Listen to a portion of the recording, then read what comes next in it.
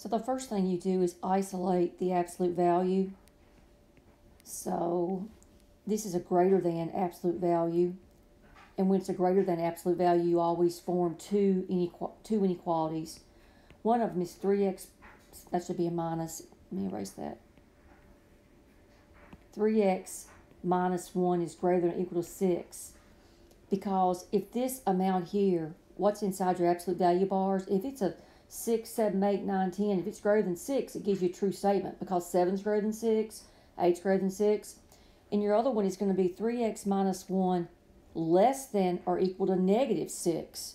Because absolute value of negative 6 is 6, absolute value of negative 7 is a 7, and 7 is greater than 6.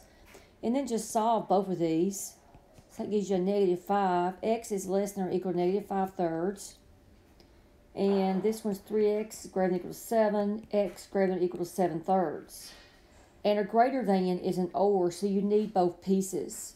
So that's going to be negative infinity to negative 5 thirds, union, 7 thirds, positive infinity. So there's your solution. Now, um, for number 21, once again, you need to isolate your absolute value, and that's going to give you 15. And I work this one a little bit differently than how they show in the book. Know that an absolute value less than is an and, and you could form two inequalities, but it's easier to just set up a compound inequality quality like that.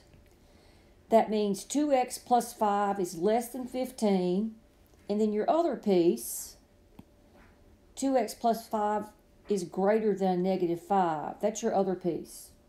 So whenever it's a less than, what I do is form a compound inequality. So this would be 2x is less than 10 is less than, subtract 5, negative 20. And it's going to be negative 10 is less than x is less than 5. I divided everything by 2. So this is already halfway set up for interval notation. It's going to be negative 10 to 5.